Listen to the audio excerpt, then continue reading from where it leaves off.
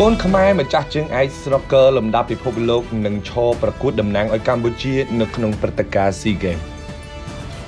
កីឡាករនីស្រួងធាវីត្រូវបានមហាជននៅក្នុងប្រទេសកម្ពុជាបានស្គាល់ឈ្មោះរបស់គាត់យ៉ាងច្បាស់បន្ទាប់ពីគាត់ទទួលបាននៅជើងឯកលំដាប់ពិភពលោក Blue One Resort LPBA Championship កាលពីឆ្នាំ2021ហើយថ្មីថ្មីនេះកីឡាករនីស្រួងភាវីបានហោះហើរមកកាន់ស្រុកកំណើតកម្ពុជាដើម្បីឈរប្រកួតតំណាងឲ្យជាតិកំណើតរបស់ខ្លួនគឺតំណាងឲ្យប្រទេសកម្ពុជានៅលើទំព័រផ្លូវការរបស់កីឡាករនីស្រួងភាវីកីឡាករនីរបស់យើងបានបង្ហាញនៅសារមួយចំនួនថា កីឡា stalker ប៊ីយ៉ាការ៉ុមខ្ញុំមិនដែលចង់បោះបង់វានោះទេ វាហត់វាលំបាកត្រូវគិតច្រើនត្រូវគេងឲ្យបានគ្រប់គ្រាន់ត្រូវការហាត់ប្រាណត្រូវការប្រើពេលដើម្បីយល់ពីវាត្រូវការអារម្មណ៍បរិយាកាសនិងការបដោតស្មារតីហើយត្រូវគ្រប់គ្រងខ្លួនឯងកុំឲ្យមានសម្ពាធនៅពេលប្រកួតជាដើមត្រូវហ៊ានប្រឈមគ្រប់ស្ថានភាពដើម្បីប្រជាជនរបស់យើង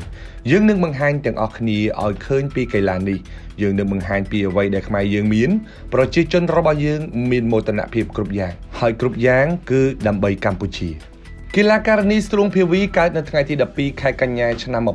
1990មានស្រុកកំណើតនៅខេត្តត្បូងឃ្មុំប្រជាណាចក្រកម្ពុជាគាត់បានចំណាក់ស្រុកទៅរស់នៅប្រទេសកូរ៉េតាំងតែពីគាត់មានវ័យ20ឆ្នាំមកម្ល៉េះកីឡាករនីរបស់យើងធ្លាប់លើកឡើងថាដំបូងឡើយគាត់គ្រាន់តែចូលចិត្តមើលគេលេងប៊ីយ៉ាតែប៉ុណ្ណោះ ដោយស្វាមីរបស់គាត់ជាអ្នកចូលចិត្តលេងកីឡាប្រភេទនេះហើយនៅពេលដែលមើលស្វាមីលេងយូរយូរក៏កាន់តែមានអារម្មណ៍ចូលចិត្តកីឡាមួយប្រភេទនេះខ្លាំងឡើងខ្លាំងឡើង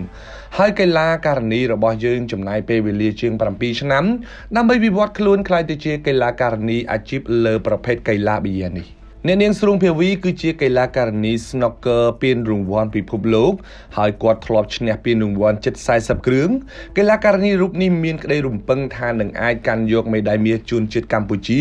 ខណៈពេលកម្ពុជាគឺជាម្ចាស់ផ្ទះនៅក្នុងកីឡា SEA Games លើកទី32នេះផងដែរគួររំលឹកផងដែរថាកីឡាប៊ីយ៉ាកម្ពុជានឹងធ្វើការប្រកួតលើប្រភេទកីឡាប៊ីយ៉ាទាំង10វិញ្ញាសានៅក្នុងព្រឹត្តិការណ៍ SEA Games លើកទី